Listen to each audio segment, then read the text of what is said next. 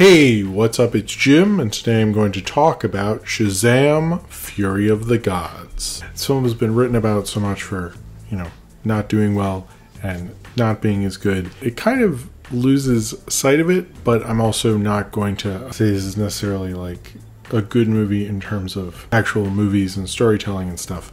I think I think this movie works mostly like uh, Conan the Destroyer did to Conan the Barbarian, where when I was like seven or eight, I wasn't allowed to see Conan the Barbarian, but I was allowed to see Conan the Destroyer.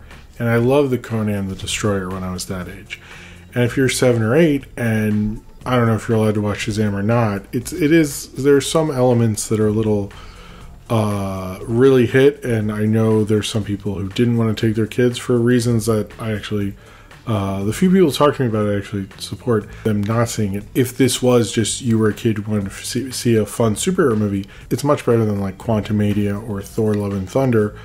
But I think the real thing is, and a real thing that hurts, is the original or first Shazam was sort of about uh, character, the character of Billy Batson. It was sort of a superhero version of Big, and that's that's like a cool idea, and it said a lot about his character and going into who he was. I think what this suffers from is something that the Iron Man movies suffered from, especially in the second one, where it sort of doesn't know where to go after it accomplishes everything it does in the first one. And I think we would all like this to be like Spider Man 2 where he continues to work on himself, continues to deal with the pressures of life and being a foster kid and living in this foster home and dealing with Shazam powers and everything like that. And it sort of does, but then it just really quickly gets into the, you know, Fury of the Gods stuff with Helen Mirren and Lucy Liu and uh, Rachel Zegler, And it doesn't really work as well um, because there's a lot of kind of like half eaten ideas that they mush together to make a full meal. And it's like there's a lot on my plate here, but I am confused what the fuck this is. And I often felt like that while watching this movie, where I do think there's enough good ideas where if you're a kid, you're to have a good time and you might get pieces of those, or your imagination will make a piece of that look much better than it actually is. But when you're actually watching it, you're sitting there and going like, "Why did we leave?" Like his friends' powers. It feels like his friends more. To Freddy is more developed. It feels like I'm not getting enough with the other kids. It just feels like a standard superhero plot without all the awe and wonder. Like none of the kids are like surprised by anything. There's no like, oh my god, I can do this sort of wonderment that was so much fun about the first one. And there's no kind of comment on, oh, we've grown up. It's just sort of like, oh, we're in a superhero. This is a superhero. We just do the, we're doing the fight now. We're all big. We fly. You get it. And not in the Marvel way where they say that. They just like get so, they're just like, we're here. We're in it. Let's go. And that, um, stinks frankly. It's like what what movie am i watching right now? I'm like i feel like i had this cute little shazam movie that i was really into and uh, this is sort of its like you know sequel that probably would have been made in the 80s or 90s that most people kind of like you know the studio made them put out in a year or something and you know they've had covid and all this time and this is sort of what we get. This is about billy batson now has an entire team of a whole Shazam family, I guess. They're sort of working out, and Billy's insecure about aging out of the foster system and trying to keep everyone together.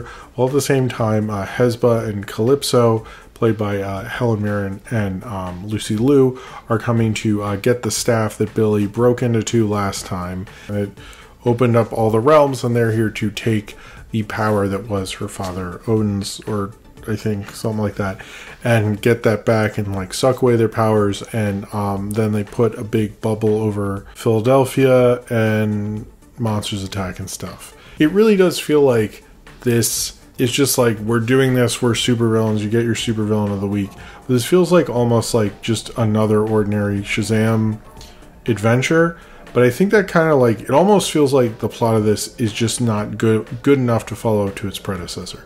Now, if this was and I'm finding this with some franchise things, and another one that review will come out soon, where it's like, I, I sort of like this movie, but as a franchise entry, I'm like, whatever about it. Um, unlike Creed 3, which I think works very well as a franchise entry, these this one it, it does feel like sort of like the flashbang sequel, where they're like, we didn't have enough time to figure all this stuff out. We were rushing, and it's like, but you weren't. This is just like a badly made sort of movie. You know, it's like writ- writing wise, this movie just really doesn't work. And even though it has like a bunch of these, you know, cute foster kids doing all this cool superhero stuff, and I thought that really worked and they have good performance. I mean, Zachary Levi, I don't think I really like him as a person whatsoever, but he's very good at playing, you know, a child who's become an adult.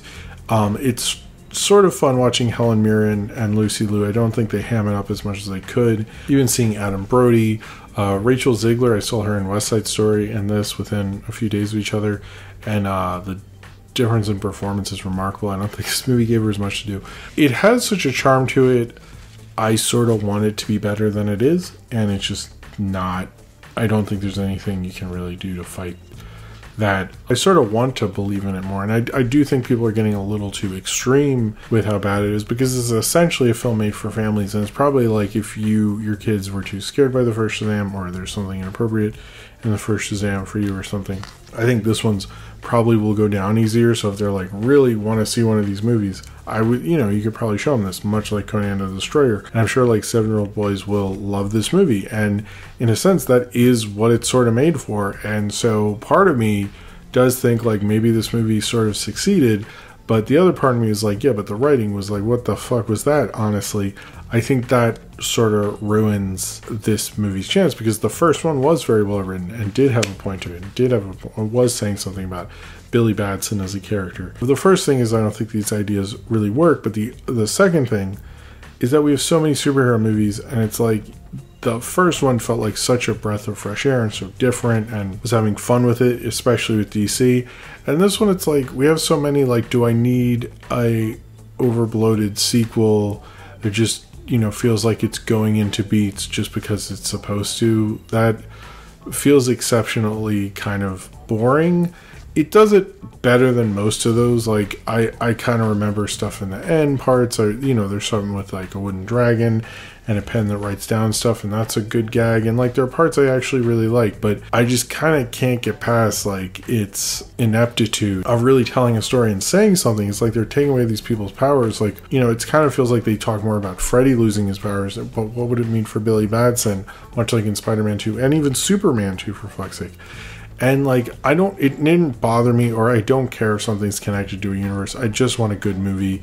Like whatever, honestly, with that stuff. Um I, I don't know if that's why it bombed. I think the general public doesn't fully know a lot of them, so I don't know how much it would really affect their opinions on things or how they would view this movie. Look, if you're coming to a Shazam movie, this is what you get, but it's almost like I feel like I don't have as much to talk about more because there's just not enough there. It's like there should be more there. There should be more after the first one. There should be so much more to talk about with this. This should be a worthy kind of follow up. We should be talking about like Billy Batson as he becomes a man. Like, how does he feel about being a superhero? Like, how he's going to juggle a job. Like, that idea of like you're on the precipice of adulthood and what are you going to do is an interesting idea, but they don't really explore that so much. They're just like, you know, how everyone's leaving him and him becoming a superhero leader and things like that. But like, it's not, doesn't even work metaphorically. It just, I, I'm kind of disappointed, to be honest, like, you know, in this one. Uh, but I think as a Shazam sequel for the kids, like, this works very well. And maybe, you know, I'm not trying to demote it or say, like, oh, it's for the kids, whatever. But I do think there's a seven year old and eight year old who will have a good time with this movie. And it works very well for that. If you want a fun family film, it absolutely brings that. It's just like, you know, just don't concentrate on the story so much and uh, you know you'll do great. Or you know for little kids who can like get through some of this and just ignore its flaws sure. But those flaws are kind of egregious and especially when comparing it to the first film. I think in some ways context works for and against this film. For this film would be that the rest of the dc stuff that's leading up to this is absolute fucking garbage and also dark and like edgy and all that stuff so it like very much sticks out these two films. The other thing is the first Shazam movie was really great, and I think surprised a lot of people who don't normally even like superhero movies, and uh, they really pulled off something special.